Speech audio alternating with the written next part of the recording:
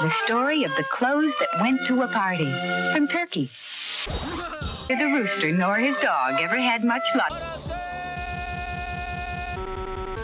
And so Nafta set off to the landlord's home, still wearing his old work clothes. Singer it was. It was a gala party with music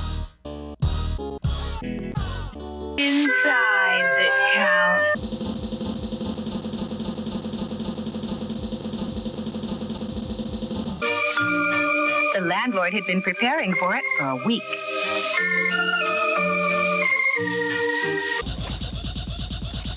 What's The owner.